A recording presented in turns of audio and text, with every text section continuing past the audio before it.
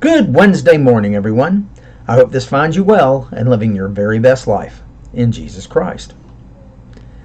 This morning I received a call from a dear saint who is going through the winter.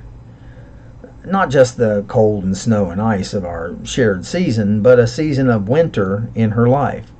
She's bravely dealing with difficulties on many, many fronts. Every day she's dealing with the illness of those she loves, and she's having to make decisions that will affect their long term well being while still dealing with grief and pain on her own. When I talk to her, I can't help but pray for God to grant her strength in this desperate time of spiritual winter.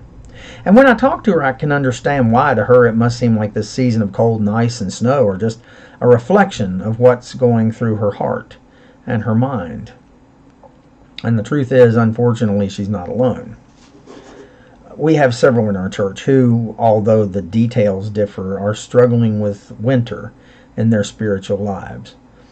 And many times they ask me with a sigh if things will ever get better. Uh, in my mind, what they're asking me is, will the spring never come? That's when I have to assure them that the cold and ice will not endure forever and that the warmth, the light, and the sunshine will return to their lives. I assure them that spring will return in God's good time. It reminds me of being a small child and receiving one Christmas a box set of the Chronicles of Narnia by Christian author and apologist C.S. Lewis. In the first book, The Lion, the Witch, and the Wardrobe, we're introduced to what they call the long winter or the age of winter. Lewis describes how, because of the magic of the evil tyrant Jadis, the White Witch, the creatures have become used to never ending ice and cold and have given up on ever seeing the spring. They live in constant hardship and have lost all hope of ever escaping this cruel winter. They can only just struggle to survive. Needless to say, though, I'll tell you the end, that spring does eventually come back to the magical land of Narnia with the return of the humans and the defeat of Jadis by Aslan, the lion. By the way, if you've never read these books, I highly recommend them as they're wonderfully written and very inspirational. My point is that there are times in our lives where we seem to be stuck in an endless winter. It's in these times that it seems our troubles will never cease, our worries and doubts will continue to grow, and our faith will truly be tested to the limit. But let me assure you that just as spring warmth came to Narnia, spring will appear right on time. And not just physical spring, but spiritual spring as well. In Genesis 8, where God promises he will never destroy the earth by water again, he tells Noah this As long as the earth endures, seed time and harvest, cold and heat, summer and winter, day and night will never cease. And we all know that God always keeps his promises.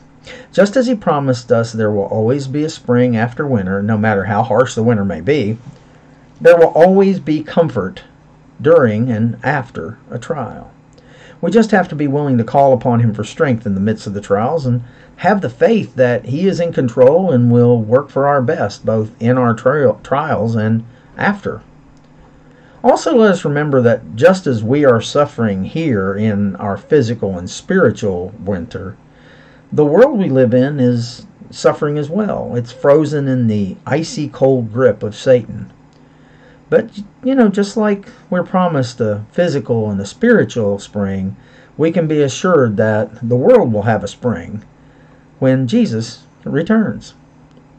Jesus reminds us in Matthew 24 that as, just as there are signs of the return of spring, he gives us signs to look for. He concludes with, Now learn this lesson from the fig tree. As soon as its twigs get tender and its leaves come out, you know that summer is near. Even so, when you see all these things, you know that it is near, right at the door. So, today I call upon us to lift up in prayer our brothers and sisters who are in the seeming long winter of their life and support them, check on them, send them cards, give them a phone call, let them know that you're praying for them. Let us remind them and ourselves that the spring will return after the long winter. And in that same way, Christ will return for us with the eternal sunshine of His love, His mercy, and His grace. I don't know about you, but I'm waiting for spring. And what a wonderful spring that's going to be. I hope you make today a fantastic day. I want you to know that I'm here should you need me. And I love you all.